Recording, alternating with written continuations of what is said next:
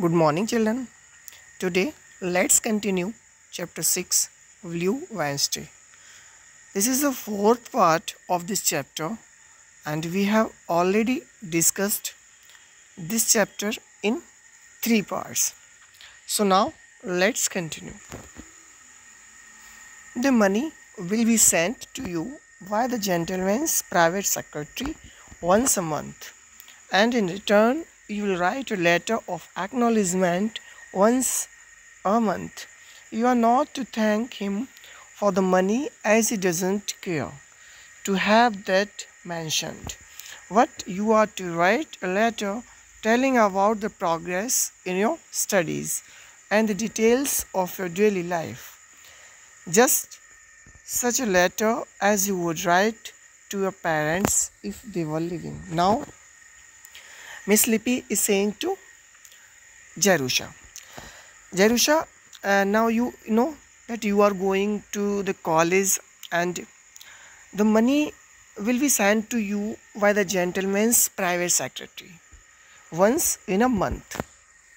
Means you will get your pocket money and other expenses uh, that you want and it will be paid by a gentleman and this money will be brought by the private secretary of that gentleman.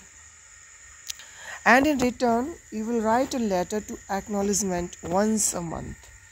Means after that in the repayment you will have to write a letter of acknowledgement once in a month. You are not to thank him for the money as he doesn't care to have that mentioned you know he does not want anything he just want to write you a letter to him in a month okay वो कुछ नहीं चाहता वो सिर्फ़ और सिर्फ़ ये चाहता है कि पैसों के बदले में तुम उसे प्रत्येक महीने एक लेटर भेजती रहो okay but you are to write a letter telling about the progress in your studies and the details of your daily life और उस लेटर में आपको क्या लिखना है? सिर्फ़ और सिर्फ़ अपनी प्रोग्रेस के बारे में लिखना है और अपनी स्टडीज़ के बारे में डिटेल्स में लिख के उसको बता देना है। अपनी डेली लाइफ के बारे में और प्रोग्रेस के बारे में स्टडीज़ के बारे में सब कुछ उसको बताते रहना है। Just such a letter as you would write to your parents if they were living और ऐसा मान लीजिए वो लेटर अगर आपके जो फादर मदर यानी कि पेरेंट्स अगर आपके जीवित होते तो आप अपने पेरेंट्स को जैसा लिखती, बिल्कुल वैसा ही लेटर आपको उस जेंटलमैन को लिखना है okay these letters will be addressed to miss John Smith and will be send to the secretary और इस लेटर को किसके एड्रेस पर भेजना है? मिस्टर जॉन स्मिथ की। And you will have to send it to the secretary means आपको ये जो लेटर है, जो आप लिखेंगे, वो सेक्रेटरी को दे देना है okay the gentleman's name is not John Smith और उस जेंटलमैन का नाम जॉन स्मिथ नहीं है but he prefers to remain unknown उसका नाम जॉन स्मिथ नहीं है, लेकिन आपको जॉन स्मिथ लिखने, लिख देना है, क्योंकि वो अपना असली नाम बताना नहीं चाहता, और वो अननोन रहना ही चाहता है his reason in requiring the letters is that he thinks nothing so increases ability in literary expression as letter writing means वो ये जो रिक्वायरमेंट है उसकी लेटर लिखने की वो सिर्फ़ इसलिए है कि वो ये चाहता है कि आपका जो एक्सपीरियंस है लिटरेरी राइटिंग का इन लेटर राइटिंग का, वो सारा का सारा डेवलप हो जाए ओके okay? उसका कोई और दूसरा रीज़न नहीं है। Okay since you have no family with whom to correspond he desires you to write in this way क्योंकि आपकी कोई फैमिली नहीं है जिसको आप लेटर लिख सको, जिससे आप करेस्पॉन्डेंट हो सकें ओके करेस्पॉन्ड कर सकें। करेस्पॉन्ड मीन्स होता है पत्राचार, पत्र लिखना, भेजना और उधर से पत्र आना। आपका कोई फैमिली में नहीं है तो आप करेस्पॉन्ड नहीं कर सकती। आप लेटर लिख के नहीं भेज सकती, उधर से लेटर नहीं आ सकते। He desires you to write in this way इस वजह से वो ऐसा करना चाहता है। Also he wishes to keep track of your progress और वो ये भी देखना चाहता है कि आपकी प्रोग्रेस कैसी चल रही है। मीन्स आपकी स्टडीज़ कैसी चल रही हैं। He will never answer your letters as detest letter writing वह कभी भी आपको रिप्लाई नहीं करेगा। Because he dislikes letter writing क्योंकि उसे लेटर राइटिंग पसंद नहीं है। डिटेस्ट मीन्स होता है dislike okay these monthly letters are absolutely obligatory और ये जो मंथली लेटर आपको लिखने हैं, वो मस्ट होंगे। यानी कि लिखने ही लिखने हैं। On your part they are the only payment that mister Smith requires यही एकमात्र ऐसी चीज़ है जो पेमेंट के तौर पर मिस्टर स्मिथ रिक्वायर करते हैं। मीन्स उन्होंने कहा है।